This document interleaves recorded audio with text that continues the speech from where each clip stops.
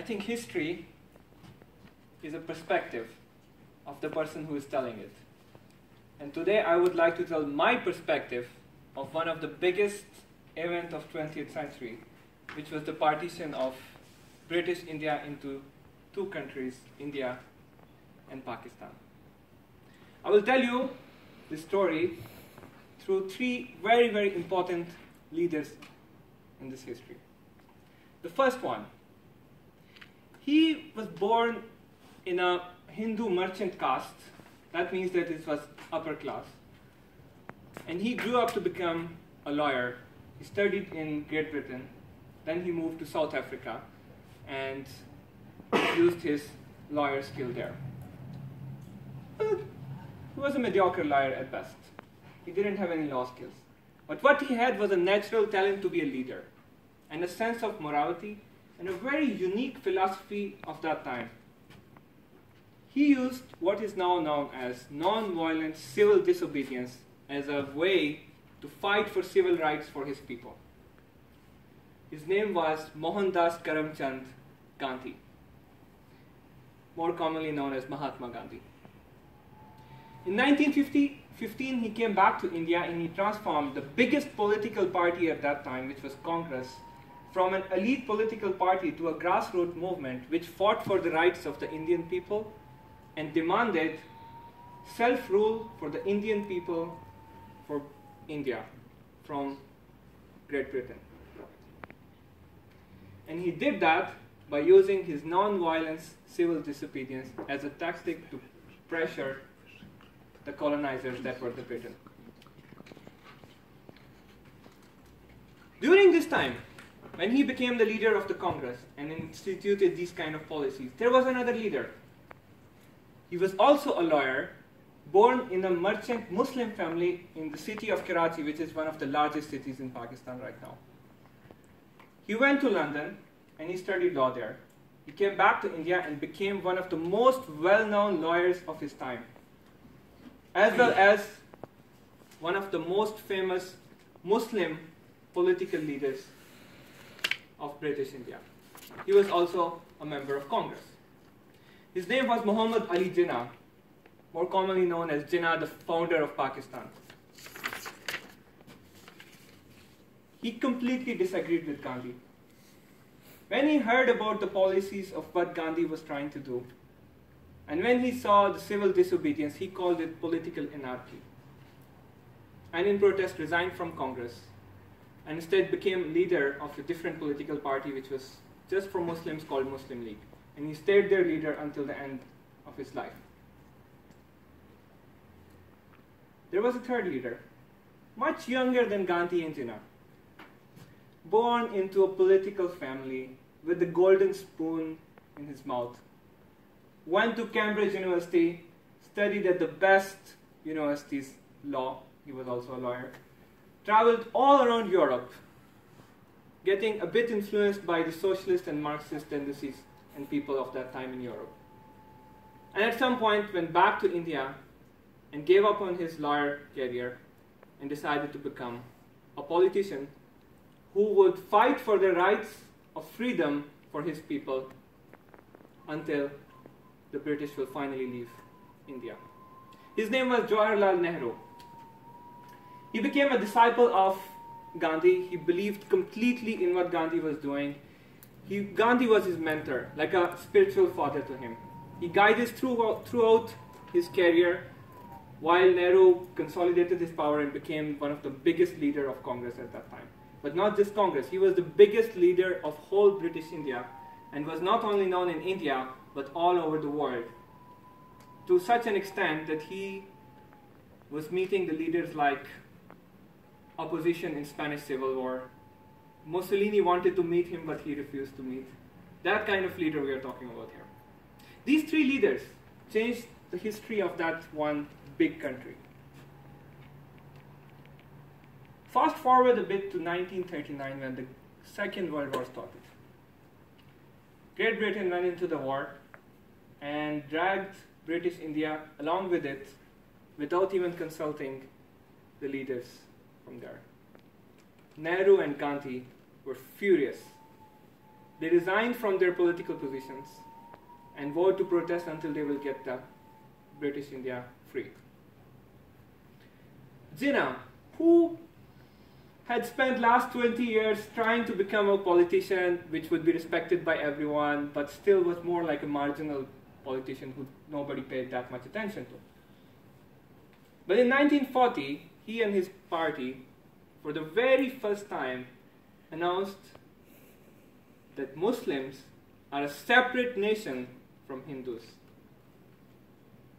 And they need a separate country once the British will leave after the war. And this country would be called Pakistan and it will consist of all the majority Muslim provinces at that time. When Gandhi heard it, he called it baffling. When Nehru heard it, he called it Jinnah's political fantasies. They didn't pay any attention to him. Two years later, in 1942, Congress thought they had freedom in their hands and went on a massive civil disobedience strike all over the country to pressure British to quit right there and then. They didn't anticipate that Churchill was the prime minister and he crushed them. He put all the Congress leadership in jail, 100,000 of workers in jail, completely banned any pol political activity by their party. Which meant that Jinnah finally had the space to make himself the leader that he always assumed he was. There was no rival anymore, and he consolidated his power. Mainly towards Muslim, he became their sole representative on the promise that he will get a separate country for them. So that in 1945, when the war was over and Great Britain had elections and there was a new government who wanted to leave British India as soon as possible, and they released Nehru and Gandhi and they came out of the jail to a completely different political reality when, than when they went in. Jinnah, which was just a minor political rival, was now a great rival without whom they could not proceed forward with any kind of decisions. And that proved to be correct when there were general elections, and Jinnah and his Muslim League won all the Muslim seats, and Congress, Nehru's Congress, did not win even one Muslim seat in the whole India. The writing was on the wall. There was no other option but to partition the country. And so, British in a hurry announced that it will be partitioned. All the Muslim majority provinces will be made into a separate country called Pakistan. Except two, Punjab and Bengal, two biggest provinces of, at that time with millions of people living in them, who had slight Muslim majority but very, very significant Hindu and Sikh minorities. Congress only agreed to partition if those two provinces will be divided between India and Pakistan. So British, yeah, as they are good at bureaucracy, they created a commission called Boundary Commission, who was supposed to draw the boundaries between two new countries in two specific provinces. And they did it in a matter of weeks. And at best, their decision for boundary were arbitrary. At worst, they were favoring one party or another. Those decisions that they made in few weeks are root cause of many, many problems that India and Pakistan had to suffer, including the Kashmir, which is still a problem between two nuclear powered nations and hasn't been solved in 70 years. But there was one thing that none of those leaders, and not even the British, saw coming when they announced such partition plan.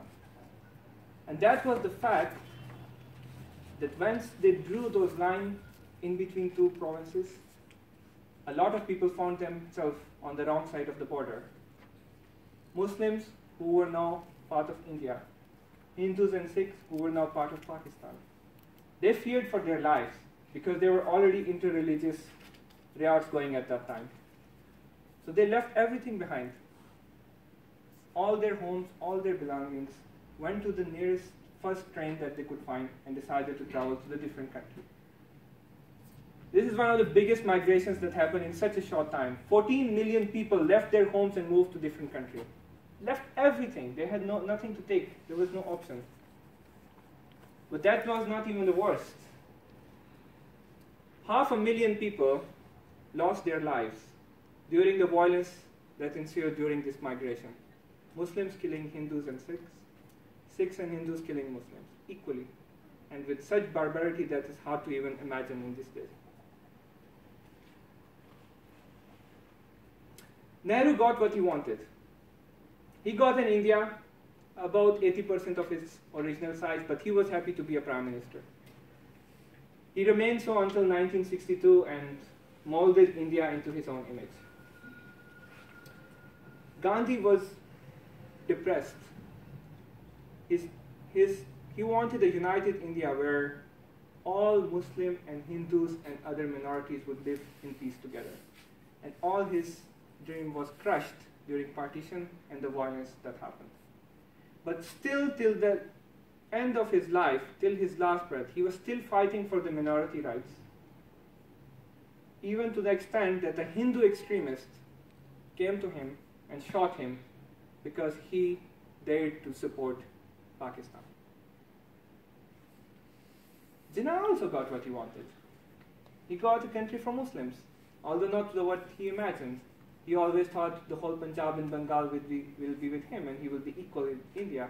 Pakistan was small compared to India, had no resources. He died one year later. And although Jinnah himself was a chain smoking, alcohol drinking, non praying Muslim who used Islam as just a political tool to forward his own agenda, that's why he thought that Pakistan would be a secular country. And it was for one year. He tried his best. And then he died. And all the people that he had gathered with him shifted back to religion and transformed the country, which was supposed to be secular, into a religious country. It is important to know what is history. And this is my perspective.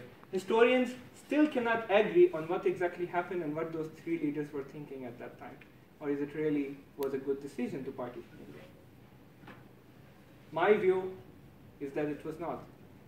And this is why I think now is the time to move forward from that. There is no other option for India and Pakistan but to work together. Forget about the problems that started with the partition, including Kashmir, and develop their people's life, which are one of the poorest people in the world.